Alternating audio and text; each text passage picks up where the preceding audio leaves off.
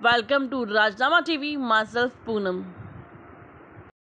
World famous Jharkhand International Film Festival has recently become a victim of hate speech by Polish YouTuber Krzysztof Stanowski, who was trying to ridicule the organization when the chairperson Nishi Prakash Mishra asked him on WhatsApp call that why he is publishing false contents about JIFFA.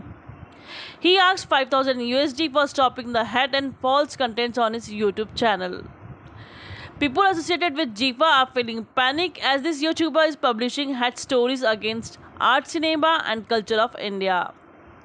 After making discrediting video, person pretending to be journalist contacted JIFFA organization for the sole purpose of further embarrassment and mispresentation. JIFFA committee would like to underline that we are only screening and awarding genuine and motivation films. An artist who deserves to be awarded for their work in film industry of globe.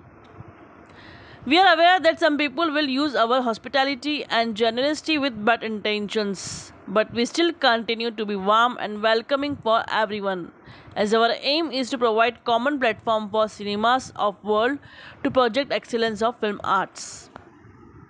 For more updates, keep watching Raaznama TV.